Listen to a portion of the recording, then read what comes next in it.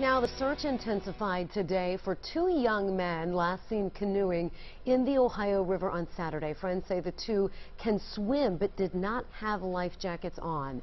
WLWT News 5's Brian Hamrick spent the day with searchers in Higginsport, Ohio.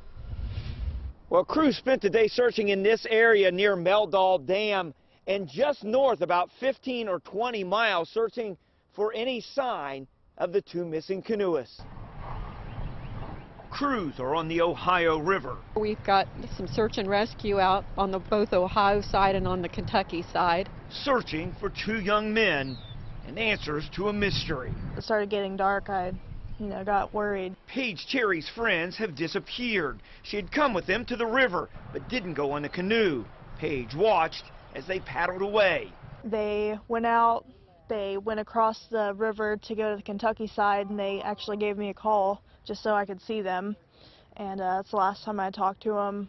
Cameron Buerger, 20 on the left, and Marty Stanaford, 19, are both from Troy, Ohio. They were at a cabin owned by Buerger's parents on the Ohio River near Ripley. The men were in a canoe and left at about 5.30 Saturday.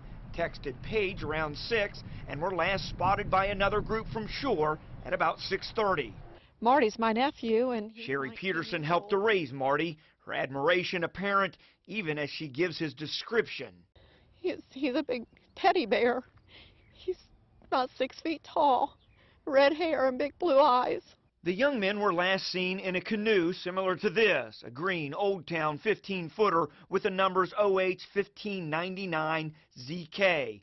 All that's been located so far is a cooler known to have been in a boat, and family is asking anyone in the area to keep watch. The families of both keep vigil. I know Marty's a good boy, and his family misses him, and we want him home. We just want him back. And crews will continue their search as much as they can today and then begin again tomorrow. Brian Hamrick, WLWT, News 5.